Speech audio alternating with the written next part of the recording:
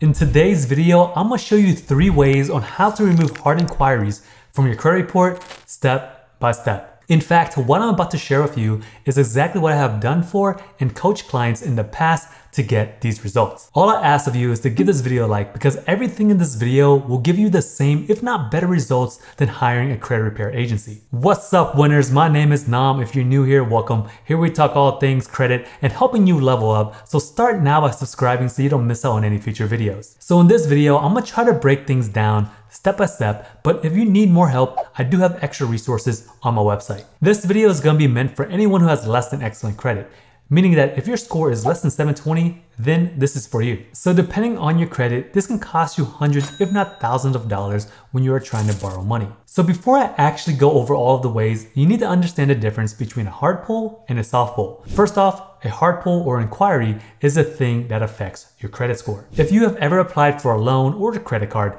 this usually results in a hard pull and this will usually bring your score down by a few points until it recovers a few months later. Hard inquiries usually stay in your credit report for a maximum of 24 months until they fall off at month 25. Once the 25th month rolls around, they should be automatically deleted from your credit report and no one would reference them in their decision to approve you for the next credit card or loan. For that hard pull to happen, this requires authorization from you. This could either be verbally or through signature. But make no mistake, there are plenty of times unauthorized inquiries happen.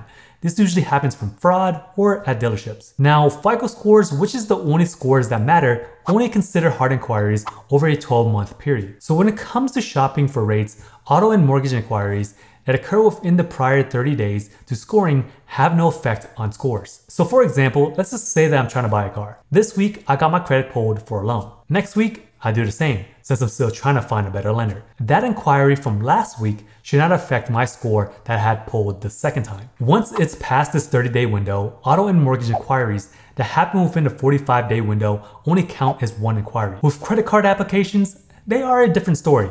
These don't get bunched up like auto or mortgage inquiries. So these ones will boost your score more if you were to get them deleted. Now, let's move on to soft pulls. This type of inquiry does not affect your credit score. So the most simple example when a soft pull happens is when you pre-qualify for a credit card to see your odds of approval. You can either initiate this yourself or companies can do this automatically. If you ever sign up for apps like Credit Karma or personal banks that provide your credit score, this is considered a soft pull. So now that we understand inquiries, let's go over the steps to dispute them. The first thing that you need to do is to grab your credit report. You can get a free one from each of the big three credit bureaus at annualcreditreport.com every single week. All the links will be down in the description below. There are paid options, but getting reports directly from the source will be the most accurate and up to date. Now, once you head onto the landing page of annualcreditreport.com, it's gonna look something like this. There's gonna be this big red button where you can press request your free credit reports. And that's pretty much it. So just click on it. It'll tell you the exact steps of what you need to do to get your online reports. You essentially just fill out a form. You pick the ones that you want. Then from there, you can download them. You can view it online like via PDF or you can just print them out. So let's request our reports. So I'm just gonna plug in my personal information right now. So once I plug in all of my personal information and I click next at the very bottom, it should land this page right here. This is where you can request all of your credit reports all in one place. So if you check all three of them, it would just turn into a window where it would ask for your mobile phone number, your email address. It would send you a text message for a verification code where you would have to plug in. Then from there, you can just see all your reports all in one place. For most places of where you want to see your inquiries is usually at the very bottom or the very end. Um, I'll share some screenshots of some actual reports so you can get a better idea of how they look. One thing that I have to make note of is that Whenever you attempt to try to get free annual credit reports from that website, you may encounter an error where it does not allow you to get the actual credit report. So this is where you may have to go directly to the website. Now, once you get your reports, you can either download them by PDF or just print them out, but you just want to find a way to keep it organized because you want to make sure that you can highlight it, circle it, and you could number it so you, it is easier reference when you want to dispute them later. When you're trying to decide which hard inquiry to remove, it is best to start with the ones that are ordered in two months. But here's the inside strategy. You can dispute accounts that were recently opened within two weeks of application. So why this works is that the inquiry already has been reported, but the account has not been. So this is the only workaround for open accounts. Now, if you decide to go this route, do it at your own risk because you can still close that account but I have seen success in this strategy. Now next what I'm about to cover is completely optional, but it may make the results better but it just takes a little bit longer. So what you may want to consider doing is freezing secondary credit bureaus. This can include LexisNexis and SageStream and Innovis. The reason why you want to freeze these accounts is that whenever you are disputing with the credit bureaus, sometimes they try to verify your disputes to third-party credit bureaus such as the ones listed. Now, if you decide to freeze any of these, it can take some time. Sometimes it could be as soon as 24 hours, but sometimes it can take up to 30 days. Now, depending on how quickly you want to try to remove or dispute these inquiries really dictate whether or not you want to freeze these. So freezing these would better your odds of removing these hard inquiries. So if you have the time, I would recommend doing it.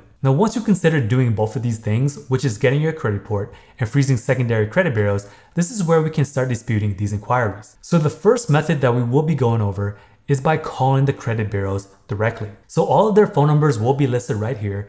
So you can take a screenshot or pause the video so you have them whenever you're ready to call. Now, once you are committed and ready to contact the credit bureaus, there will be an automated system where you need to be directed to the fraud department. Now, if they don't give you the option to do so, or they just require you to say something, just say that you want to remove fraudulent hard inquiries from your credit report. From there, they would redirect you to someone who can help you with your dispute. So whenever you're making this call, just make sure that you have a legitimate reason for disputing this hard inquiry. So let me give you an example. Let's just say that you went around shopping for a car. When you went to the car dealership, they may ask for some personal information like a driver's license and maybe your social security number to see if they can see what kind of rates you can get pre-approved for. The key word here is pre-approved. So whenever a pre-approval happens, this is a soft inquiry and does not have a negative effect on your credit score. But there has been many of times in the past where they say that they would not pull your credit, then just a few weeks later, you see a shotgun on your credit report. This is actually a violation of the Fair Credit Reporting Act since you did not give them authorization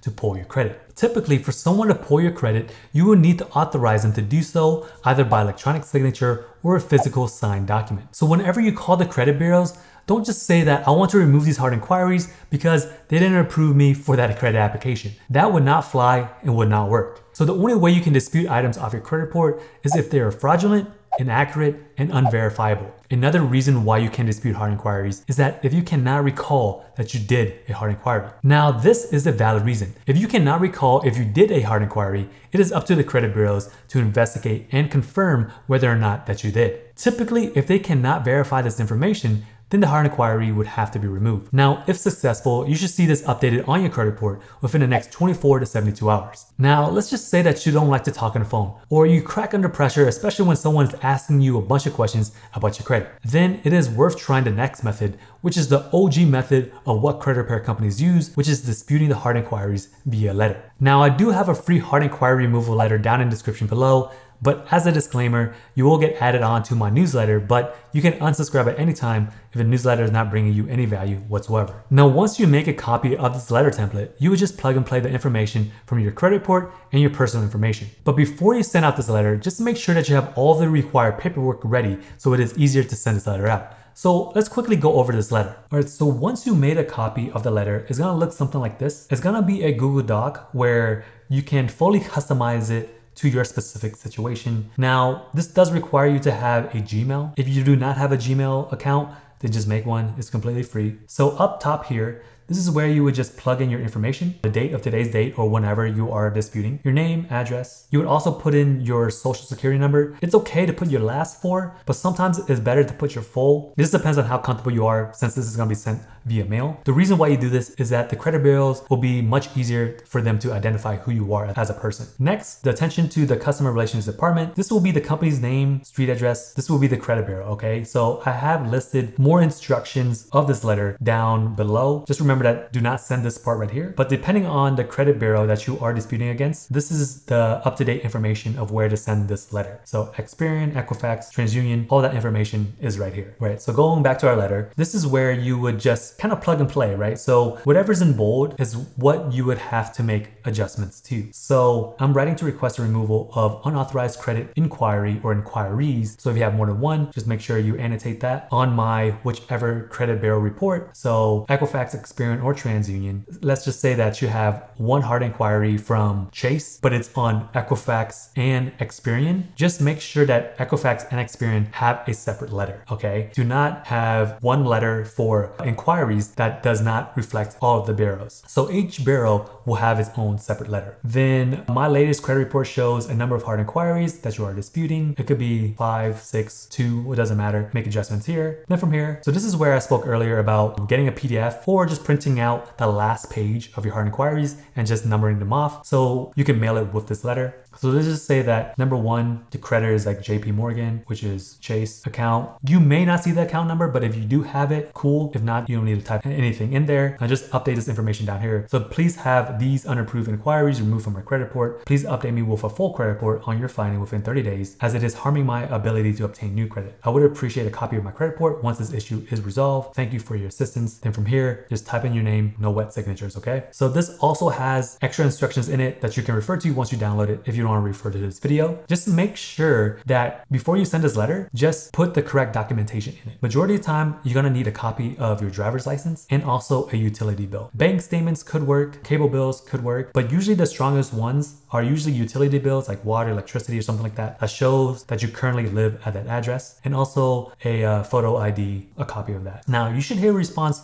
within the next 40 days or so. If you do not, then you can call the credit bureau to see what's going on, or you can just follow up with another letter to see like, hey, following up on this letter, seeing what's going on with my dispute. Okay. Now, the reason why I say 40 days, even though in the letter you said 30 days, is that according to the FCRA, it gives them 30 days to respond back. So for 40 days is essentially when you send out the letter, it takes some time to get to the credit bureau. Then once they do their investigation and they send it back to you, then it will take some more time too, right? So that's why I say 40 days. Now, if it takes more than 40 days, if it comes back verified or unverified and it gets removed, awesome. So if it does come back verified, I will show you something in the next strategy to help you get them removed. So I'm trying to over deliver the value you get from this video. So I'll post a link for all of the sites, the letter, everything that is mentioned in this video down in the description so you can check it out for yourself. So as mentioned before, you want to get a copy of your driver's license or photo ID and a statement that shows your residency, okay? Another thing that you may want to consider is actually a photocopy of your social security number because if you have a very common name like John Smith or whatever it is, right? They may come back as a letter saying that they need to verify who you are. This is usually just kind of like a stall strategy for them. So they will just hope that you forget to send them back. But sometimes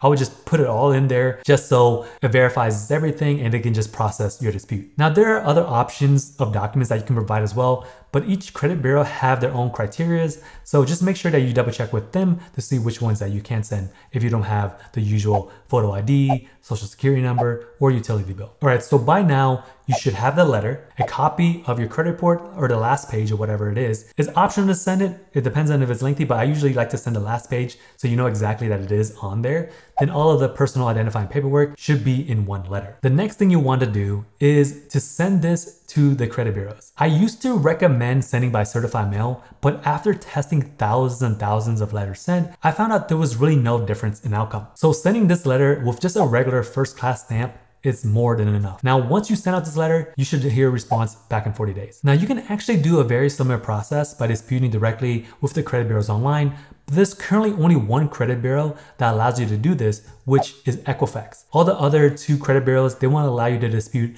inquiries through the online portal. The thing about disputing online is that this can definitely give you a quicker result, like if you were to call them on the phone, but generally I would not recommend disputing any delinquency, let alone hard inquiries via online, because you sign away a lot of your consumer rights when you do so. So credit repair was meant for consumers to dispute inaccurate information, and this was written a long time ago, where the only way to dispute items was via snail mail. So this is my recommended way to dispute delinquencies directly with the credit bureaus. Now let's go over the third method of what happens if you dispute via phone, via mail, or online and you still get a no. Now, if you have unauthorized hard inquiries, this is where you want to file a identity theft report through So let's head over to the website. So their homepage should look something like this. Now to file a report, all you have to do is just click this big button right here, get started. Then you would want to report identity theft. Now you want to check which one applies, okay? So this one is going to be credit card accounts, very bottom, click continue. Then from there, you would click to open a fraudulent credit card account. Now, they're going to ask you a bunch of questions. All you had to do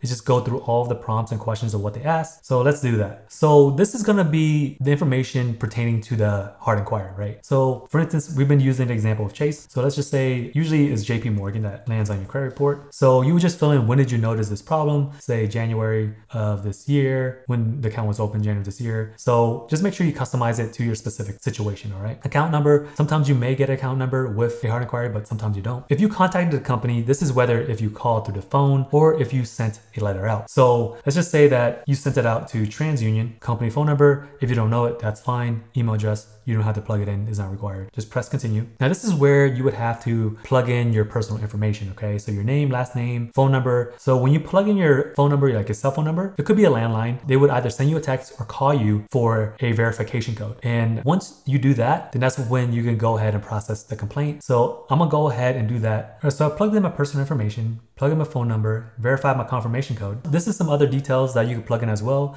like your email, secondary email address if you have any. Plug in your date of birth, current mailing address. Again, you don't have to plug this in there, but you can just for more information if you would like. Okay, so press continue. Now this will ask you if you know anything about the suspect. If you do, click yes. If you don't, then press no. Now let's go to additional information. So with the credit bureaus, have you reviewed a copy of your credit report? Yes, you have. That's how you notice that there was a fraudulent hard inquiry. Were there any fraudulent accounts included in your credit report? This is if the account was open. So if it was open, you can say yes. If no, say no. Now this is where you would have to fill in information about the hard inquiry themselves. So let's just say that you got a inquiry from Chase. Usually is, is listed as JP Morgan. If you have more than one, this one allows you only to list up to three. So let's just say Wells Fargo. All right. Let's just say Bank of America, which is like the big three. If you have more, there's an option to fill out some more information a little bit later. So let's just start with these three. This will ask you if you requested a fraud alert. You can say no, yes, police report, if there was a data breach that you know of, or any debt collectors. All right. So let's click continue. Now, in your personal statement, this is where you can actually plug in more information about the inquiries. So let's just say that you have like 10 inquiries, right? So you can list them out more here. So you have to say something in this prompt for it to allow you to go to the next window, okay?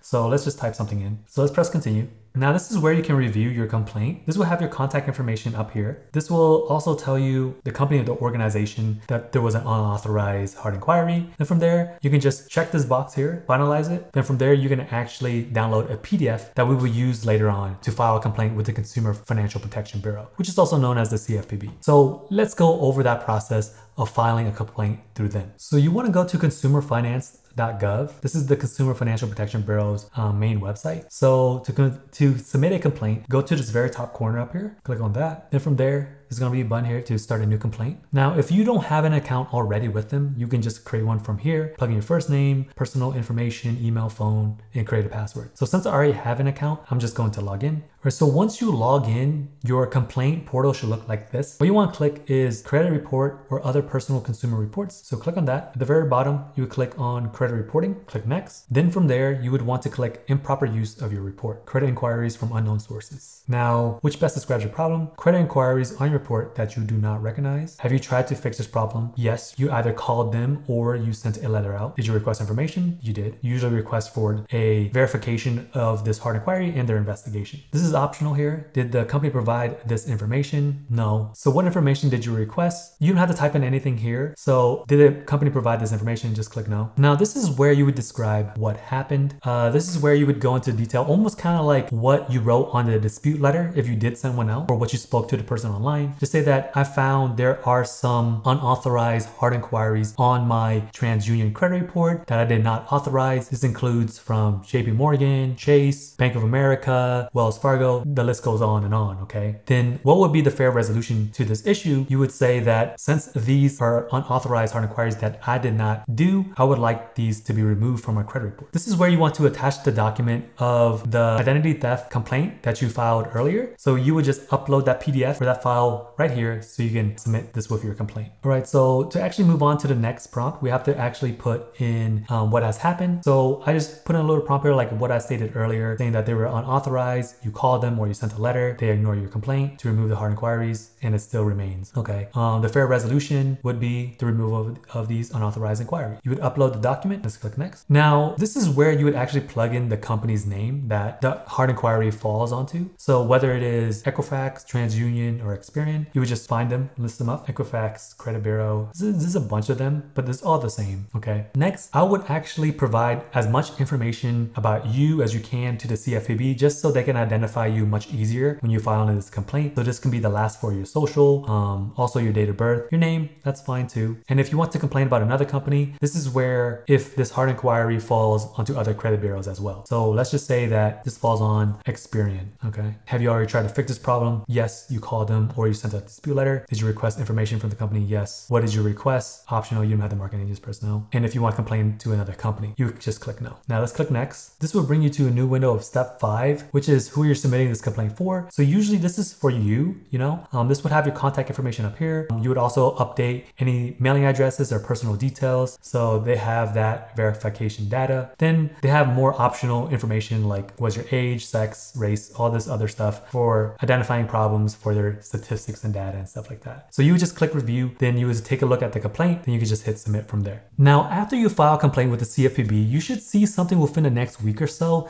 with the credit bureaus, okay? So they may actually close out any open disputes that you have with them since they would have to respond back to the CFPB. The CFPB is like the head honcho for financial companies. So every financial company that gets a complaint from the CFPB have to respond back to them. Now, as a reminder, you would only do this step in case if you did not have a positive outcome when you disputed with the credit bureaus via phone or letter before. So now let me give you a bonus, which is the fourth method that you can use to actually dispute hard inquiries, which is using an automated software like Credit Rehab Pro. So rather than typing out every single letter or researching what's on each credit report for each credit bureau, this allows you to have it all in one place and just within a matter of a few clicks, it allows you to print out your dispute letter and then you can just send it out to the credit bureaus. Now this software also tracks it throughout the whole process, so you know when to follow up in the software and it will recommend you what to do next. Now let's talk about the cost. The software itself is free, but what is required is actually an active credit monitoring subscription to make it work properly. And that subscription will cost you around $39.95. But if you want the simplest way to create disputes, whether it is inquiries, collections, charge-offs, late payments, you name it, this software can handle it. Now, if you do want to learn more about Credit Rehab Pro, you can find a link down in the description. All right, so I went over all of the methods that you can do to dispute hard inquiries. You can find all the links down in the description below. I also do have a course that goes a little bit more in depth about how to dispute hard inquiries, but pretty much everything that I showed you in this video, you can do yourselves and get success. If you wanna hang out with me some more and learn more about credit, or just repair more things off your credit, check out these videos over here.